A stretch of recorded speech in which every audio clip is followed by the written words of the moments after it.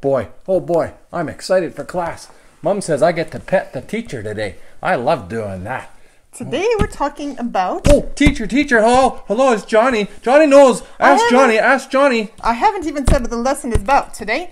Besides, we like people who put up their hands and then wait until they're asked before they speak. I got my hand up. I got my hand up. Johnny, you still don't know what the lesson is about today. It doesn't matter. Johnny's very smart. Ask Johnny anything. You'll see how smart Johnny is. Okay, I give in. Today we're, We're going going to talk about ice cream. Ice cream. We're going to talk about ice cream. Now, whenever have we had a Sunday school lesson about ice cream?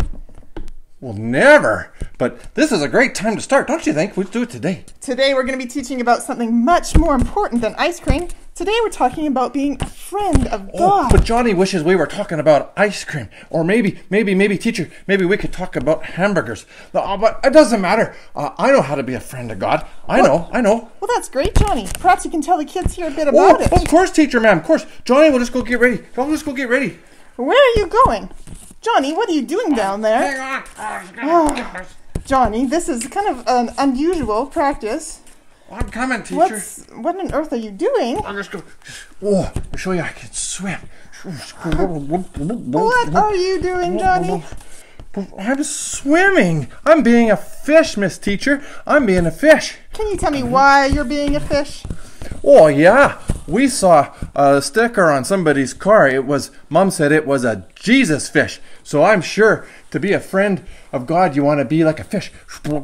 Well, that's great that you want to be God's friend, but the fish sticker isn't mean that you're God's friend. Oh, okay. No, it's no problem. I know. I know another thing. I know. I know what it means to be God's friend. Well, I guess it's kind of hard to breathe underwater, so that's good, hey? Oh, what on earth are you doing now? Tweet, tweet, tweet, tweet, tweet, tweet, tweet, tweet, tweet, tweet. Oh yeah, tweet, tweet, tweet, tweet, tweet, tweet. Well, I don't really want to, but I guess I should ask, why are you tweeting and a feather in your hair? Oh, I lost my feather. Oh, that's okay. Oh, I'm just being a sparrow. I know. Uh, it says in the Bible. I, I heard it one time that that God knows even if a sparrow falls to the ground. So if He's a friend with a sparrow like that, God must want me to be like a sparrow. Yeah. Tweet, tweet, tweet, tweet, Well, tweet. Johnny, that's tweet, still tweet. not right. Let me tell you how to be God's friend. No, no, Miss Teacher, ma'am. No, no, no. Johnny's very smart. I got, I got, I got one more try. Very clever. I know how to do it. Okay, well, I hope this is a better idea than the last two. This is great. This is the right way. I know it. Yeah. Okay, so tell us why do you have a wig on? Because we sure can't figure it out. Oh, I read somewhere Grandma said that God cares so much that He knows about every hair on my head. And Johnny really wants for God to pay lots of attention to him. So the more hairs I get on my head, oh, they're falling out. Oh no! Johnny, you what am I can't going to do? God by putting a wig on your head. He knows how many hairs you have, really have on your head underneath the wig. God can't be fooled by anything we do anyway. Oh, teacher man, no, no, this is terrible. No, Johnny's running out of ideas. How can I be God's friend? It seems so very, very hard. Well, first, you need to get your information from the Bible and from your teachers at church. You Oh. can't learn the truth about God from a bumper sticker, a cereal box, or a library book. Oh, Second, God loves everyone just the way they are. He doesn't worry what you look like, what clothes you wear, what language you speak, or what color your skin is. And you don't need goggles, feathers, wigs, or anything else to impress God. He already loves you and wants to be your friend. oh. So what does Johnny need to do to be God's friend? Johnny want to be God's friend, but now I'm not knowing what to do. Oh, you gonna help Johnny learn this? Yes, Johnny. To be God's friend, all you need to do is pray and ask Him to be your friend.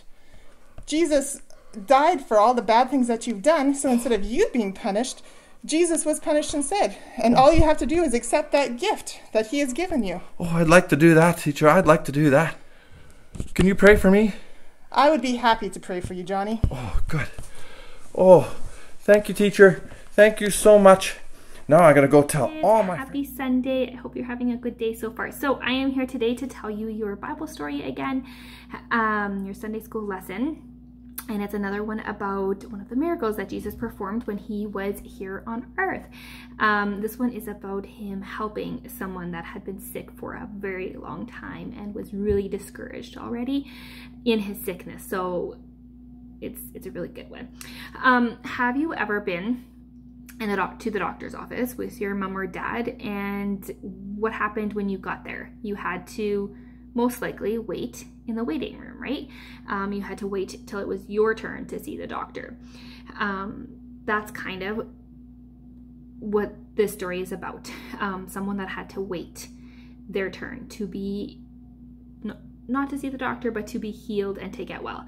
Um, so in Jerusalem, there was a big pool named Bethesda that had like five porches around it. So, oh, I gotta show you the picture. Um, there you go. There's the the pool, and it had porches around it, and it these porches were always filled with people, um, like just all sorts of people, moms and dads and grandpas and grandmas. There's children, aunts and uncles, all sorts of people on this porch. Um, some of them couldn't walk, some couldn't see, some couldn't hear. Um, they were all sick with something. There was all, something wrong with all of them. Um, but why why were they at this pool? Why were they waiting? Or yeah, why were they on these porches um, at the pool? Um, and the answer is that people believed that an angel came down and stirred the waters of the pool once every day. And the first person, only the first person, to get into the pool when it stirred and it bubbled um, would be made well. So they would be healed from whatever was causing them to be sick. Um, but you had to move really, really fast to get into the water first, right? Because it was only the first person. So the people that couldn't walk or were really, really sick um, didn't really have a chance because they couldn't move fast enough to get into the water.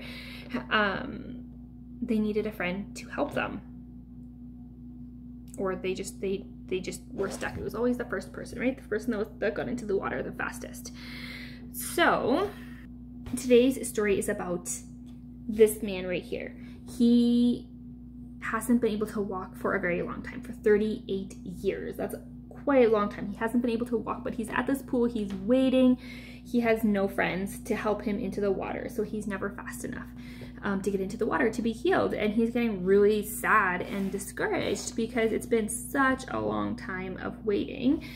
Um, but today is a really good day for him because Jesus comes to the pool and he walks over to this man he knows about this man because jesus jesus knows all things right so he knows about this man he knows that he's been waiting a very long time to be healed um, and that he can't walk and has no friends to help him into the pool when it stirs so jesus goes over to him and he asks him would you like to be made well would you like to be healed do you think the man wants to be healed? I think so, right? He's been waiting a long time to be healed. And he says, yes, but I have no friends. I can't walk and I have no friends to help me into, into the pool when it stirs. So I am never fast enough.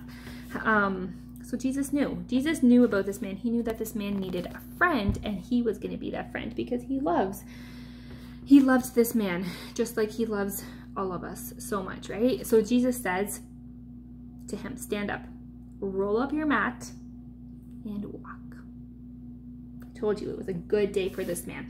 So Jesus didn't help him into the pool. Jesus just told him to stand up and walk. So just by Jesus speaking that, the man was made well and he was able to walk.